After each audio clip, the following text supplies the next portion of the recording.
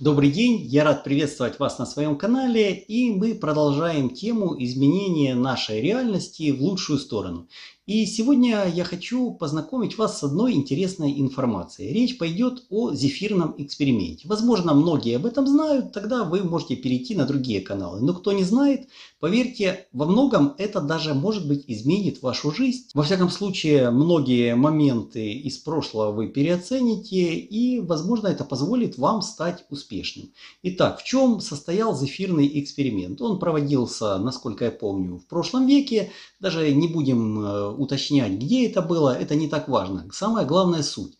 Бралась группа детей и им предлагали зефиры. И говорили, вы можете съесть их сейчас, но если вы подождете, допустим, полчаса, то через полчаса, если сумеете удержаться, не съесть зефир, то вы получите два зефира. Если потом еще удержитесь там полчаса или час, то получите три зефира. То есть, если человек готов контролировать свои желания и вот Э, свои поступки, то есть получить сиюминутное удовольствие вместо того, чтобы получить намного больше, но немного подождал.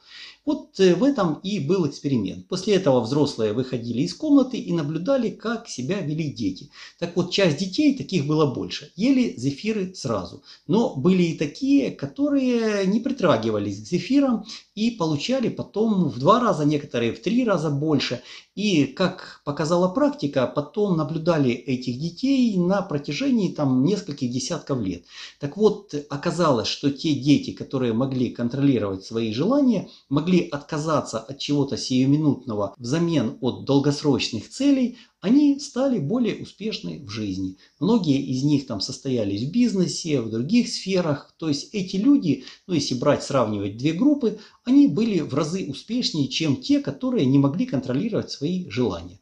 Вот такой эксперимент, э, такая информация, я считаю, что она очень полезна для повседневной жизни.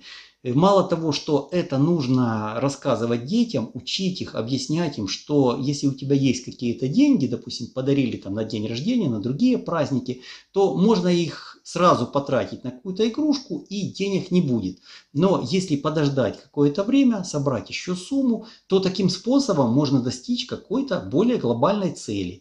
А если это распространить еще на более дальнее будущее, то можно добиться еще большей цели. То есть вот такая простая методика, но которая действительно меняет жизнь. На этом у меня все. Понравилось видео? Ставьте пальцы вверх. Обязательно пишите свои мнения в комментариях. Всего доброго и будьте здоровы!